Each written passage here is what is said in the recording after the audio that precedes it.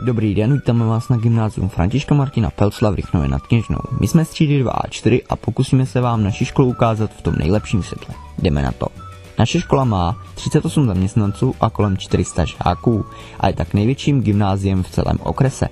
Máme jak osmileté, tak čtyřleté obory a dále je u nás na výběr z pěti jazyků, kromě angličtiny také němčina, španělština, ruština a francouzština.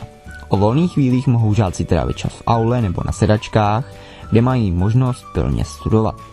V naší škole jsou skvěle vybavené laboratorní učebny a učebny, ve kterých nechybí interaktivní tabule. Mezi bývalé studenty patří olympijský vítěz v deseti boji Roman Šebrle, po kterém je pojmenovaná naše hala, a spoluzakladatel divadla Semafor Jiří Šlitr. Děkujeme vám za zhlédnutí a nashledanou.